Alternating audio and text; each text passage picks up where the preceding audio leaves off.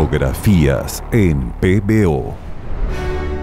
Carlos Andrés Pérez Rodríguez nació el 27 de octubre de 1922 en la ciudad de Vega de la Pipa, Venezuela. Su padre era un hacendado dedicado al cultivo y comercio del café, mientras que su madre era hija de un empresario local. Estudió Derecho en la Universidad Central de Venezuela, terminando sus estudios en Colombia y Costa Rica. En su etapa universitaria, comienza su carrera política, siendo representante estudiantil.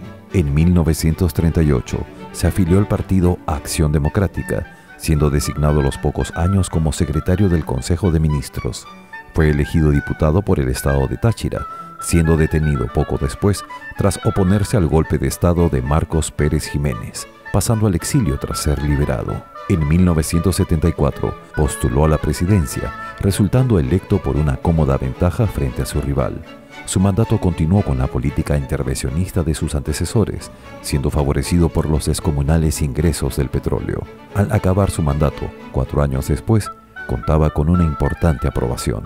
En 1989 fue elegido nuevamente presidente, donde inició fuertes cambios en la economía.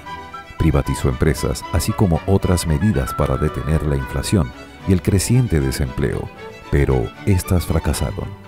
Además se enfrentó a un intento de golpe en 1992 a manos de Hugo Chávez, en aquel entonces un desconocido comandante. Un año después, fue destituido al ser acusado de malversación. En los siguientes años se enfrentaría a polémicos juicios que lo llevaron a pasar arresto domiciliario durante años. Al ser liberado, postuló al Senado, siendo elegido y ganando inmunidad. Pero al cerrarse el Congreso para realizar una Asamblea Nacional Constituyente, postuló a este órgano sin ser elegido. Entonces pasó a República Dominicana y a Estados Unidos, de donde no regresó a enfrentar a la justicia.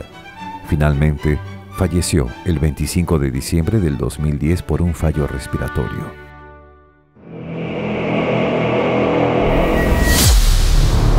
Biografías en PBO